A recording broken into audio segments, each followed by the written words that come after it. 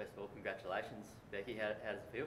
Yeah, it's awesome. Um, obviously, I've been involved over the last couple of years as assistant coach and clearly worked closely with majority of the squad who are involved with WA. So to be given the opportunity to to follow on from Shelley and hopefully uh, get us back to competing in the finals, that's I'm really excited for that opportunity. Obviously, massive shoes to fill with, with Shelley, now a World Cup winning coach and obviously a great Australian cricket. How much have you learnt from her over the past few years in the Scorchers setup? Yeah, so much. She's obviously um, was relatively new to the head coaching gig too, but with the experience not only from playing but being in around that um, Aussie setup, um, it was really um, great experience for me to be able to see how she goes about things, particularly on the sidelines during a game, how calm she is, how collected she is with her thoughts. That's something that um, I've really been able to learn from and hopefully can take that on. But just being able to pick her brains has been um, something uh, that I am forever grateful for for her and hopefully I can continue to do a good job at the Scorchers moving forward.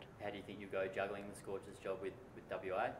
Um, I'm, I'm feeling okay about it. I think I've got a lot of good support here. Um, we're hoping to, to get a couple of coaches in and around the, both programs as well. So clearly the women's game's expanding year on year. Um, so, you know, it will be a challenge, but it's something that I'm really looking forward to.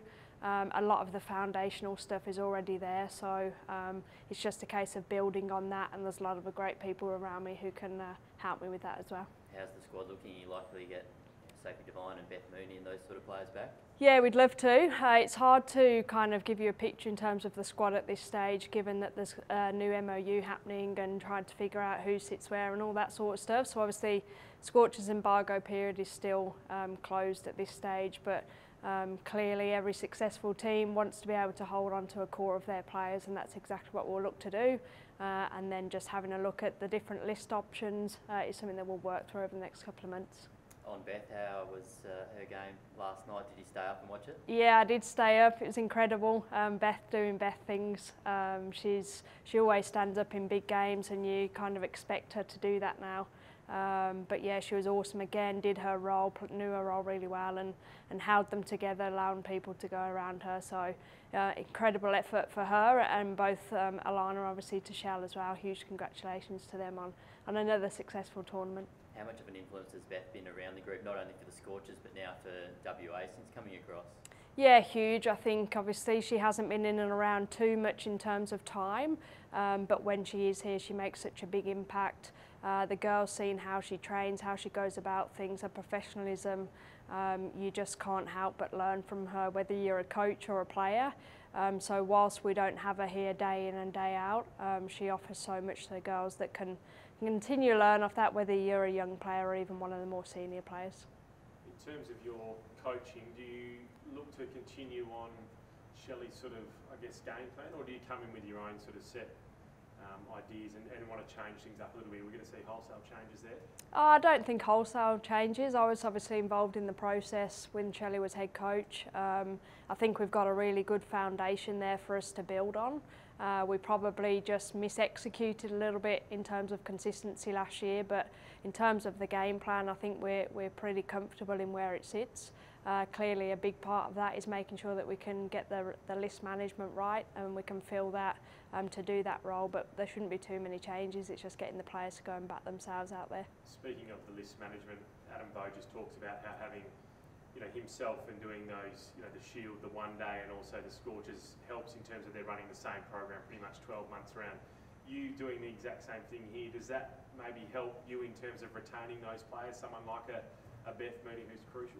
Yeah, I hope so. I think, like you say, a lot of it's to do with relationships. Um, so the fact that I can work with these players 12 months of the year, um, huge in terms of being able to connect with them, but also to able to develop their game. So we've got a really clear idea of how we want to get our players, whether they're WA or interstate coming in.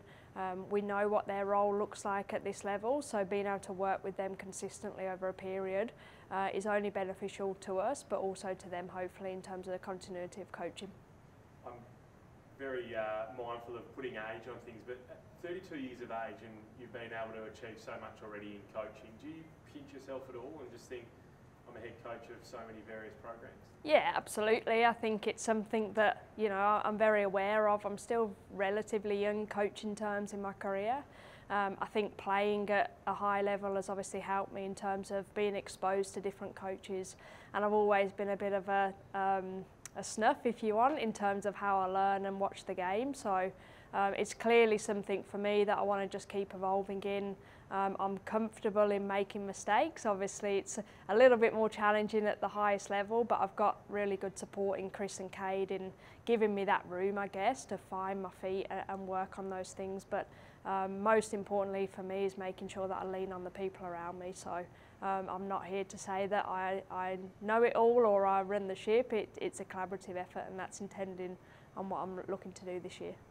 The team's done so well in terms of attracting some of the, the biggest names in the tournament, like you touched on Beth and Sophie and the like. What do you think it is that's made it, you know, made this possible, and how do you look to continue that becoming like an attractive destination for the best players? Yeah, I think obviously from a Scorchers perspective, we've had success over a number of years in the competition, whether it's winning it or reaching finals. So I think success obviously attracts good players, but I think culturally um, it's something that we're really strong on here, that it comes from the top. So, you know, Chris will be down in the changing rooms wishing everyone good luck, whether we've won or lost.